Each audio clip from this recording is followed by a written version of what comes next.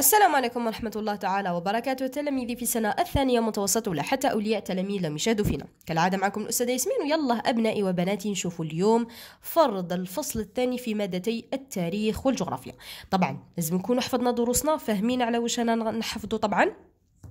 ونشوفوا كيفاش نحلوا عدة نماذج يعني ماشي غير هذا إن شاء الله باش هكذا نكونوا واجدين للفرد تاع المدرسة تاعنا. إذا نبدأ بالجزء الأول التاريخ عليه 10 نقاط نفس الشيء جغرافيا عليها 10 نقاط. نبداو بالسؤال الأول نقاط يقول لي كان لسقوط الأندلس انعكاسات سلبية على الدولة الإسلامية. معناتها كي سقطت الأندلس؟ الدولة الإسلامية عندها عفايس سلبيين صراولها. أذكر ثلاث نتائج لسقوطها. مع تعطيني ثلاث عفايس واللي هي نتائج علاش سقطت الأندلس. يلا. اللي بعده السؤال الثاني اللي عليه أربع نقاط. أكمل ما يلي معناتها أكمل الفراغ. انهزم الموحدون أمام الإسبان عام 1212 في معركة هذه وش نسميها؟ هذه قلت لكم حفظوها 12 12 وش نسميها. بدأت محنة مسلمي الأندلس عقب سقوط ولا عقب سقوط آخر معقل وهو ولا وهي المعقل الأخير اللي سقط. استولى الإسبان على عدة مدن جزائرية منها وشنو هي اللي استولوا عليها في 1505 استنجد الجزائريون بماذا؟ لإنقاذهم من الغزو الإسباني. معناتها لمن التجأ الجزائريون لإنقاذهم. يلا السؤال الثالث عليه ثلاث نقاط اشرح ما يلي محاكم التفتيش الموريسكيون والأغالبة. شكون هما؟ هذو أبنائي لازم نشرحوهم كامل. الجزء الثاني هو الجغرافيا قلنا كذلك عشر نقاط. نبدأ بالسؤال الأول ثلاث نقاط اذكر في جدول معيقات التنمية في كل من الصين واليابان. معناتها شنو هي المعيقات اللي ما تخليهمش ينمو الأوطان تاعهم سواء في الصين ولا اليابان في جدول. السؤال الثاني عليه واحد ونص. اشرح المصطلحات التالية. الكثافة السكانية تحديد النسل والميزان التجاري. يلا كل وحدة نفهموها. السؤال الثالث كذلك واحد ونص. يختلف توزيع السكان في قارة أمريكا من منطقة لأخرى وهذا راجع لعدة عوامل. حدد عوامل توزيع السكان في أمريكا. معناتها وشنو هي العفسة اللي يروحوا لها السكان وينفروا منها السكان في أمريكا؟ الوضعية الإدماجية أربع نقاط. قرأ صديقك العبارة التالية. تعتبر الصين واليابان قوة اقتصادية عالمية رغم المعيقات. فطلب منك شرح هذه العبارة. السند الأول يحتل اقتصاد الصين المرتبة الثانية عالميا في حين تعتبر اليابان رابع قوة تجارية في العالم.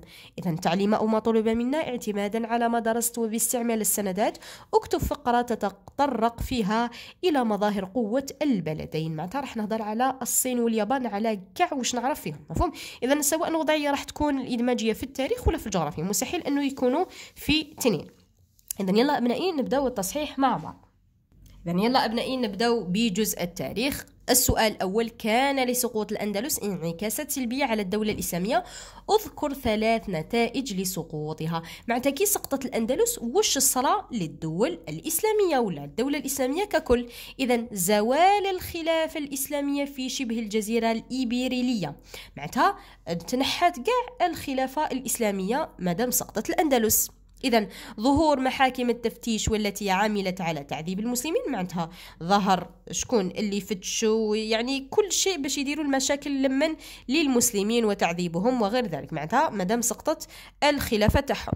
تحول اسمها من الأندلس إلى إسبانيا. معناتها نحاول الاسم تاع الأندلس اللي كانوا فيها المسلمين. ورجعوا إسبانيا اللي فيها الكفار. يلا السؤال الثاني. أربع نقاط. يقول لي أكمل ما يلي. انهزم الموحدون أمام الإسبان في عام 1212 في معركة حصن العقاب. هذه نحفظوها أبنائي. يعني تواريخ ما عندناش عليها وين. بدأت محنة مسلمي الأندلس عقب سقوط آخر معقل وهي غرناطة. مفهوم أبنائي معناتها؟ كي سقطت آه غرناطة اللي هي الأخيرة كاع بدأت محنة المسلمين وتعذيبهم إلى غير ذلك. استولى الإسبان على عدة مدن جزائرية منها مدينة وهران نحفظوها اللي استولوا عليها في 1505 استنجد الجزائريون بشكون بالإخوة بربروس هذوك الزوج لإنقاذهم من الغزو الإسباني. مفهوم يلا هذه بالنسبة إلى ملء الفراغ اللي عليه أربع نقاط. يلا نروح للسؤال الثالث قال لي اشرح ما يلي. وشنو معناتها محاكم التفتيش أبنائي؟ هي محاكم دينية مهمتها اكتشاف مخالفي الكنيسة ومعاقبتهم بأبشع الوسائل والطرق. معناتها داروهم هادو إسبانيا إلى غير ذلك داروا محاكم تفتيش في الدول الإسلامية. معناتها باش كاع يضموهم إلى الدين تاعهم معناتها إلى المسيحية. واللي خالف الدين تاعهم ولا يخالف الكنيسة في معتقداتها إلى غير ذلك وش يديروا له؟ يعذبوه بأبشع الوسائل والطرق ويقدروا حتى يقتلوه.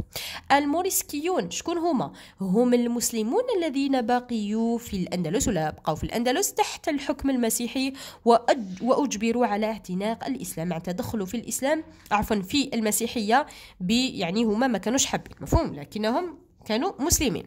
يلا الأغالبة هو سلالة من عربي عربية سلالة عربية يعود أصلهم إلى المؤسس لمؤسس الدولة الأغلبية وهو إبراهيم بن ابن الأغلب في المغرب الأدنى. إذا تلاحظوا باللي جاية من الاسم تاعو مفهوم؟ إذا سلالة جاية من الدولة الأغلبية اللي دارها شكون؟ إبراهيم بن الأغلب في المغرب قلنا الأدنى. ننتقل إلى جزء الجغرافيا. نبدأ بالسؤال الأول المعيقات معيقات التنمية في كل من الصين واليابان ديريها في جدول. إذا يلا معيقات التنمية في الصين ومعيقات التنمية في اليابان. إذا الحجم السكاني الكبير معناتها كثافة سكانية كبيرة في الصين.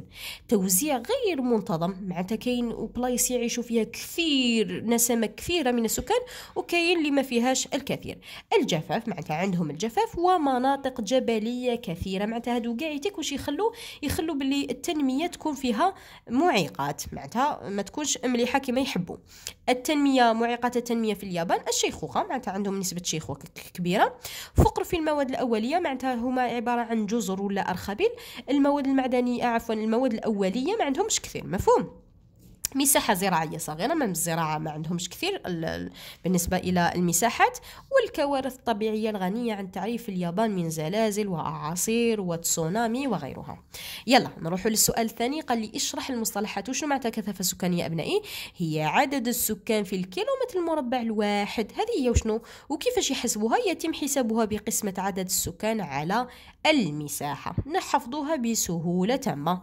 وشنو هو تحديد النسل؟ هو تنظيم الولادات وتحديدها بالتباعد بين المواليد. إذا بكري كانت ماشي التباعد بين المواليد وإنما في الصين خاصة يعني نهضر على الصين.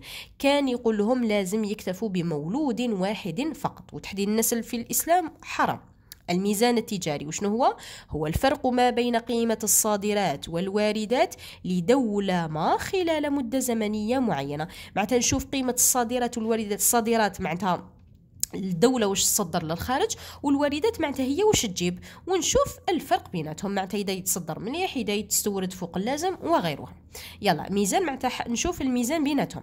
يلا نملأ الجدول عوامل توزيع السكان في أمريكا نشوف عوامل جاذبة للسكان وعوامل طاردة للسكان. معناتها السكان واش يحبوا باش يروحوا لهذيك المناطق؟ يعيشوا فيها بزاف. وين راهم يهربوا؟ مفهوم؟ إذا عوامل جاذبة للسكان تجذب السكان مناطق توفر المعادن والطاقة معناتها وين كاين المعدن والطاقة السهولة الدا... السهول الداخلية الواسعة معناتها فيه سهول كثيرة. المناطق المدارية والمعتدلة معناتها يكون المناخ تاعها معتدل. العوامل اللي ما تخليهمش يروحوا فيها السلاسل الجبلية معناتها فيها الجبال كثيرة. الشمال البارد معناتها ماذا بهم يعيشوا في حرارة يعني معتدلة. الإقليم الاستوائي مفهوم؟ معناتها فيه المناخ تاعو متذبذب. نروح إلى الوضعية الإدماجية اللي راح نهضروا فيها عن دولتي الصين واليابان والقوة تاعهم إذا يلا نبداو بالنسبة إلى المقدمة العرض والخاتمة تاعي وندي إن شاء الله العلامة الجيدة إذا يلا أبنائي نشوفوا هذا المثال. شهدت الأعوام الأخيرة بروز دولتي الصين واليابان كقوتان بارزة في المجال الاقتصادي.